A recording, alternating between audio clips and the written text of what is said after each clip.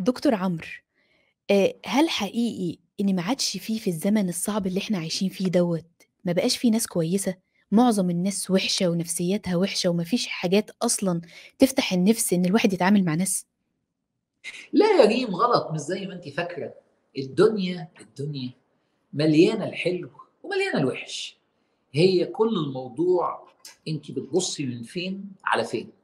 يعني إيه بتبُصّي من فين على فين؟ يعني لو كل البيئة اللي أنتِ بتبُصّي عليها بيئة وِحشة، أنتِ المشكلة أنتِ في اختيارِك. أنتِ حطّيتِ نَفْسِك في بيئة تخلّيكِ كل اللي بتشوفيهم وِحشين. دي مشكلة، مشكلتِك أنتِ، مش مشكلة إن ما فيش ناس حلوة. أنتِ اخترتِ إن اللي تبُصّي عليهم ناس وِحشين. دي واحدة. نمرة 2 أنتِ أنتِ ممكن تشوفي ناس قدّامِك بس أنتِ مش شايفة الحلو اللي فيهم. ممكن تكوني دايمًا عينِك بتُقع على الوِحِش. دايمًا بتشوفي نُص الكوباية الفاضي مش نُص الكوباية المليان، مع إن المليان أكتر. دي دي مشكلة تانية عند الناس. ففي مشكلتين بتخلّي الناس تقول زي ما أنتِ بتقولي.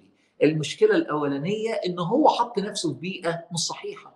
بنت كل ما تتخطب لواحد يطلع زي الزفت.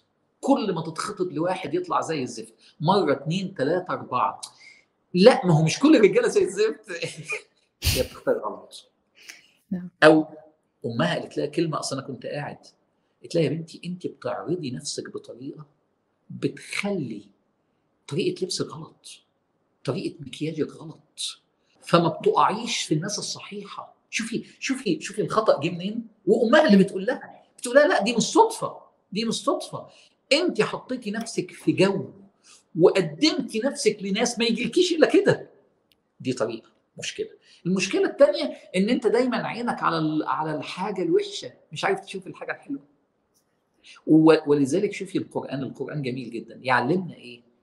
حاول دايمًا تشوف الحاجة الحلوة حتى جوّه الوِحِش. شوفي الآية بتقول إيه؟ "ثم قَسَتْ قلوبكم من بعد ذلك فهي كالحجارة أو أشد قسوة." وبعدين ربنا يقول لِك: "لأ، بس الحجارة مش كلّها وِحشة. وإن من الحجارة لما يتفجر منه الأنهار." وإن منها لما يهبط من خشية من الله، وإن منها لما يشقق فيخرج منه الماء. الحجارة فيها حاجات حلوة كتير. إيه الطريقة دي؟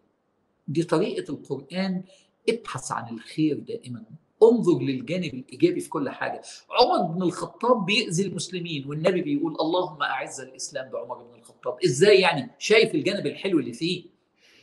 شايف الحتة الحلوة اللي جواه، فبقى عمر بن الخطاب هو عمر بن الخطاب. كان الراجل يقول لمراته: "أتطمعين أن يسلم عمر؟" "والله لا يسلم عمر حتى يسلم حمار الخطاب." لمّا حمار جده يبقى يسلم، يبقى هو يسلم. لكن النبي كان شايف الجانب الحلو اللي فيه. اللي أنتِ السؤال اللي أنتِ بتقوليه هو أحد مشكلتين. الناس الطيبة الحلوة كتيرة في الدنيا. المهم تعرف تلاقيهم إزاي. طول ما أنت بتعرض نَفْسك وِحِش، مش هتلاقي غير الوحشين. طول ما أنت جوّه بيئة وِحشة، واحد مصاحب في الفصل كل الساقطين، إزاي يعني هيقول الناس ناجحة؟ ما هو كل اللي شايفهم ساقطين. فاهمة الفكرة؟ الفكرة نعم. التانية كل حد فيه الحلو والوحش. لو صح. فضلت تركّز على الوحش، مش هتلاقي حد في الدنيا ولا أنت نَفْسك، لإن أنت كمان فيك الحلو والوحش. الله عليك يا دكتور عمرو. شكرًا شكرًا جزيلًا. شكرًا شكرًا يا. دكتور. دكتور عمرو، ألف شكر على معلوماتك القيّمة. شكرًا يا ريم. ها، طلعت زي ما أنتِ فاكرة؟ لا يا دكتور عمرو، ما طلعتش زي ما أنا فاكرة. شكرًا.